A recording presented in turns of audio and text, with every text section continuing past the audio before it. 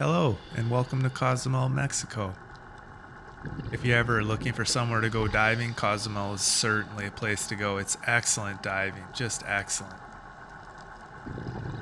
I didn't see a lot of the dive sites, but the ones I did see, I was just deeply impressed. The water is crystal clear, massive walls, and huge underwater boulders, and just teeming with life. That's a mutton snapper, common fish for people to eat and fish for. It's common all over the Caribbean. There's concern it might be starting to become overfished, and it's listed as near threat. This is a pretty typical looking reef, covered in stony corals, loads of sponges, and quite a lot of algae too. Here I'm just trying to give a sense of the scale of the place. The water here is just so clear. I can't think of many places that rival it that I've been to so far. Different spots on the reef have different ecosystems. So here we're looking kind of under a ledge on a wall. There's quite a bit here. There's sponges and sea whips, but I want to point out all the algae that's growing this is a species in the genus Halimeda, and it's often found in dark, shady spots underneath ledges and on walls. It uses calcium out of the seawater and puts calcium carbonate into its cells, making it really stiff and uh, hard for animals to eat. This is sunray lettuce coral. It's a type of plating coral. It's found often on walls, sloping reef ledges,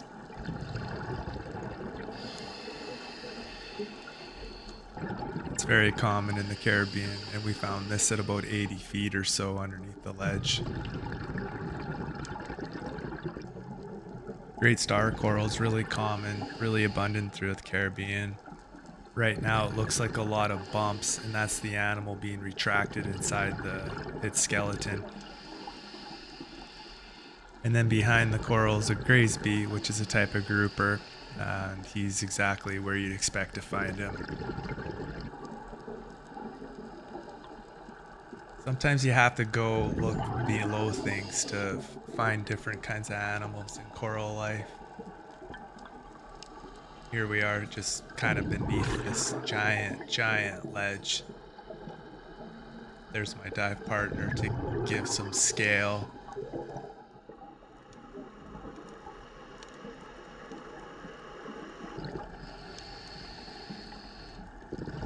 Now we're moving shallower and the topography of the reef is changing pretty abruptly and it's turned into these island boulders on a sloping bed of sand.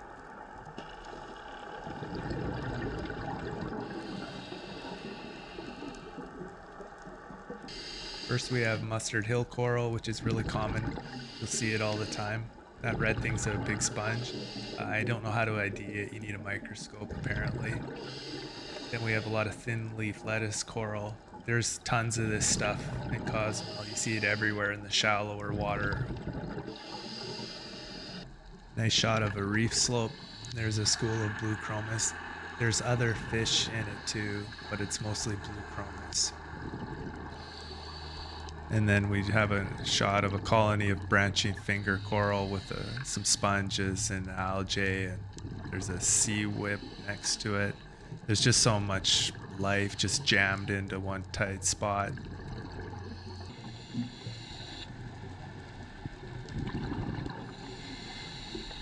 This is such a wonderful place to dive with the water clarity and the really interesting geography and topography. It's just, there's so much to see and do. It's great. I would say perhaps the only downside is the volume of divers and all the boat traffic. It's not a secluded place.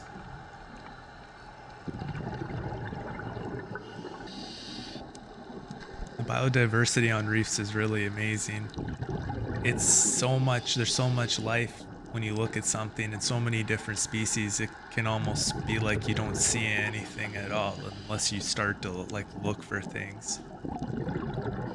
Yeah, we're just we're we're swimming over sponges, hard corals, algae, all kinds of fish and invertebrates. Here's a massive colony of branching finger coral and uh, loads of algae. There's some uh, thin leaf lettuce coral. And a nice shot of what the place looks like.